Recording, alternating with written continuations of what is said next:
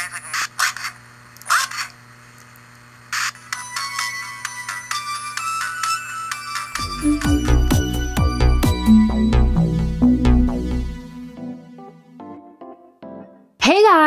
I'm back and I took a shower. My hair is currently drying, so I've got it up in whatever is going on here, and I'm not really sure I'm digging it, so I'm trying to see it in the camera, but I'm squinting, so it's not really helping because I can't get a good feel for it. Anyways, I don't like it. Don't get attached because currently I'm not. I'm probably gonna change it in about 10 minutes. but anyways, I'm back, and today we're gonna be taking a look at this Tiny TV2 unit that was sent to me for free to check out from Tiny Circuits. They've got so many different DIY little builds. Like, check out this arcade. I kind of want that now.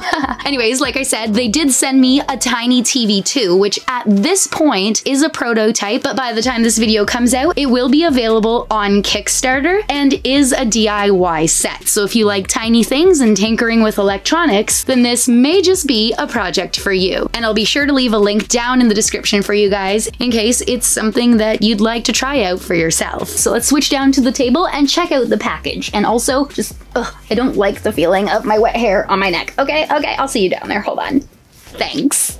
All right, so this is the box that I was sent. Just this, no paperwork inside the bubble mailer whatsoever. So hopefully I can figure everything that I need to out and everything goes smoothly because as you can see, it's just a plain black jewelry box. No information printed on this whatsoever either. We've just got two pieces of scotch tape holding it together. So I'm just gonna slice the tape.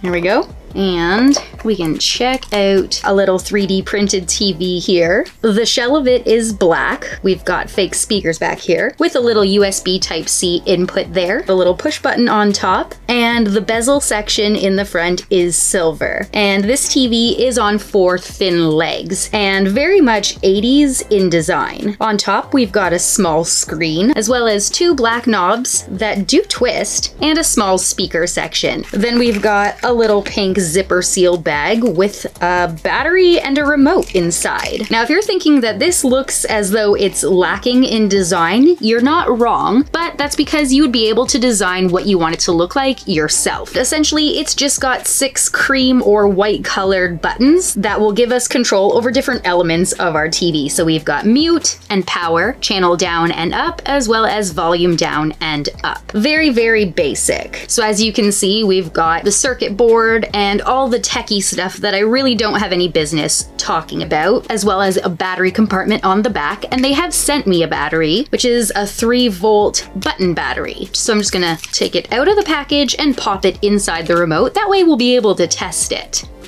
There we go, slides right in. By the way, there are no instructions here. Luckily for me, I do believe I can press play all on my lonesome. And I'm gonna try using the remote first. Unfortunately, it does not seem like the remote can turn it on, so I guess I'll be pushing the button on top.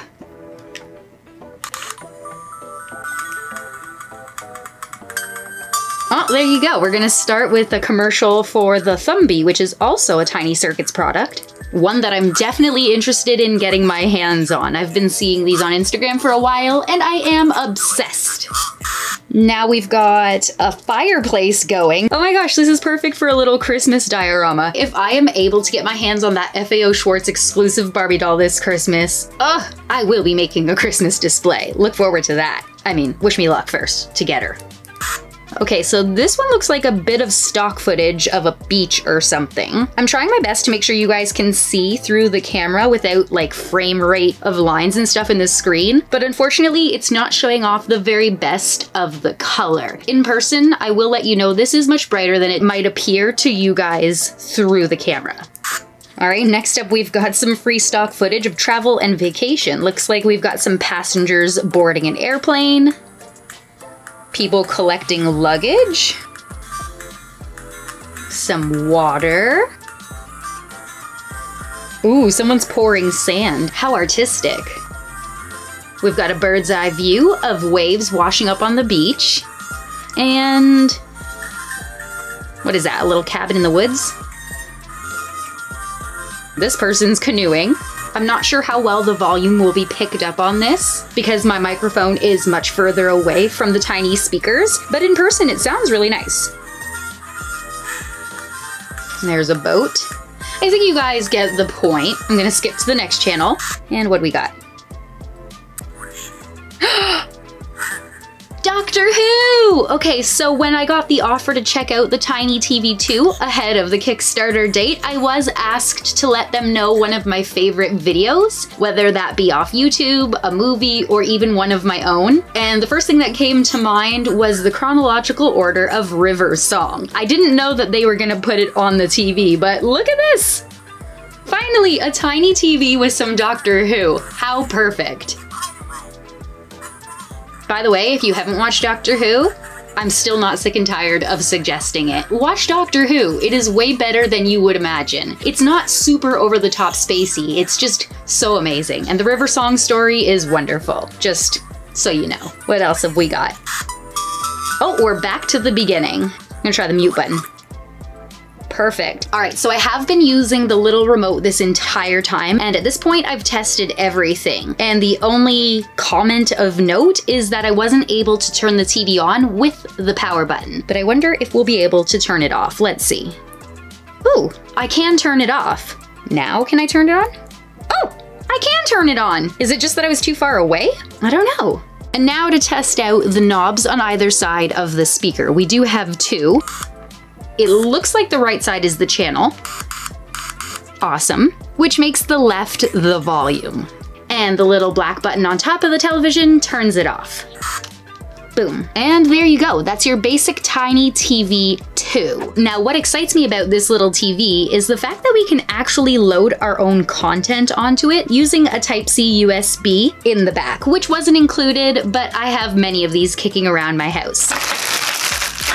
I think we're gonna be okay. And now to the computer. So I'm gonna look at the instructions online and figure out the best way to do this. Because apparently there is some converting info I should know about in order to get everything working smoothly. Let's see how that goes. And I'm just gonna add a few funny clips and behind the scenes stuff because, I mean, who wouldn't wanna watch that on a tiny TV, right? Hey guys, I'm back and it is a whole new day. In fact, it's a whole new week plus two because it has been three weeks, in fact, since I filmed the first part of this video because I got a head cold and I got sick for the first time in three years. It wasn't fun. I don't know how to be sick anymore. And I was miserable doing absolutely nothing. But I'm back and we did convert and add some scenes to this TV so that we can finally check it out with you and share in the joy that is miniature things on TV. And that miniature thing just happens to be me.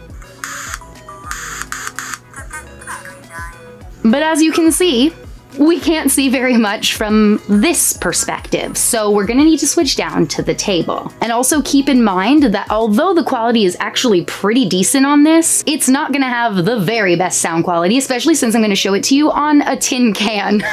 but in person, it sounds a lot better than it does down there. Let's go!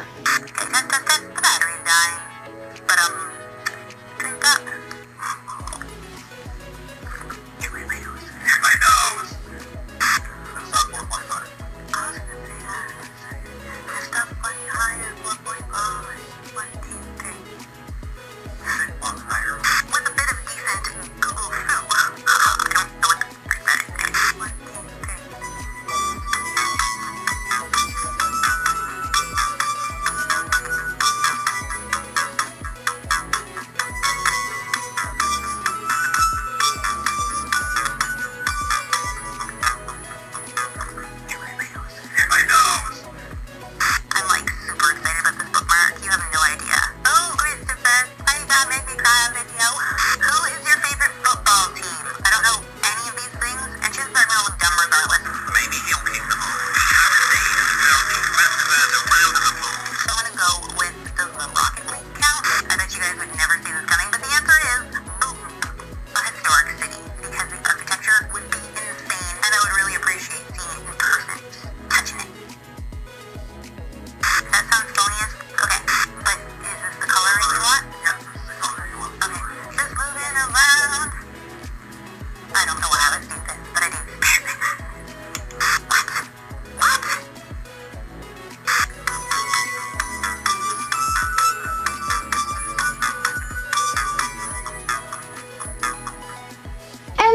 Okay, we're back again. Did I share the specs with you guys? I don't know. If I didn't, then let's add some footage now so that we can get that out of the way. So for dimensions, we have 48 by 37 by 26 millimeters or 1.9 by 1.4 by 1.0 inches. Our super tiny screen display is 26 millimeters or 1.0 inches. We've got 16 by 9 millimeter front facing speakers, 150 milliamp battery giving us about two hours at full charge using a USB Type-C cable, as well as for uploading. And you can fill it with pretty much anything you want because we've got 8 gigabytes of space, giving us around 10 hours of video footage. Like, that means you could literally fit full-length movies on here, as long as they don't go over 10 hours. Like, could you imagine a miniature display with your favorite movie just on this TV and no one expects it to work? Like, oh, my heart can't take it. And finally, as you know, we have our infrared receiver, aka remote control, and of course the two rotary dials or knobs on the front of our TV. So as I was saying, it was a lot of fun to actually load things onto this and see myself on such a cute and tiny screen. In fact, if you enjoyed it as much as I did and you want to see other behind the scenes stuff as well as get early access to videos before they go live, then perhaps you should click the link in my description to find out about our new Patreon, which I'm just learning how to use, I will admit, but it should be pretty cool. A place for me to let you guys see some stuff you wouldn't usually see and for you to see things early or that you would never see, like bloopers and stuff, as well as give you an opportunity if you wanted to help support our channel. So yeah, that information is in the link down below in the description box, and if you choose to sign up, then thank you. If not, that's okay too. I'm still gonna be here, watching tiny footage of me. If you know somebody who would enjoy today's video, then please share it with them. And if you enjoyed it yourself, then please make sure you remember to comment, like, and subscribe. And what you would load onto a tiny TV too. And guys, I have to tell you, there's actually a smaller model than this. I'm pretty sure it's like that big, so I may have to get one of those. And definitely a Thumby. I've always wanted a Thumby, so I may be reviewing more of these in the future. Anyways, guys, as always, thank you so much for watching. My voice is starting to go again. I can hear it. Um, so I'm gonna call it quits for the day, and I will see you in my next video. Bye!